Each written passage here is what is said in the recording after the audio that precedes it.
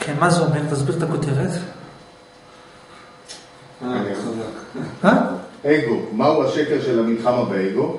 איך לקבל את האגו של אלוהים. זאת אומרת שרוב רוב הקונספט המערבי, בכלל הקונספט העולמי זה שיש אגו ושהוא רע ושצריך להילחם בו וזה לא בסדר. אתה אומר שזה שקר, זה עצמו שקר שצריך להילחם בו.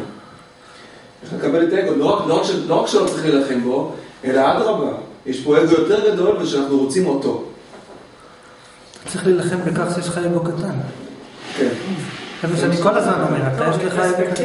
זה מה שאמרתי, זה לא המקדומניה, זה רגשי נחיתות. אבל יש אגו טוב ואגו לא טוב. לך יש רגשי נחיתות שאתה צריך להתנצל למישהו ולהגיד לו זה לא מגלומניה. תגיד לו כן, זה מגלומניה וככה טוב לי. תבין, אבל יש לך רגשי נחיתות. הוא אומר, לא, לא, זה לא מגלומניה. לא, לא, לא, זה מגלומניה וככה אני רוצה. הבנת? תלמד. אתה צריך שיהיה לך, שלא לך נחיתות, שיהיה לך מגלומניה. בדיוק, סופר אגו. הלאה, ובוא יתבהר, תקרא, ובוא יתבהר. ובו יתבהר אחד הרעיונות השקריים והמתאים ביותר שיש בעולם, והוא הרעיון של המלחמה באגו. והרעיון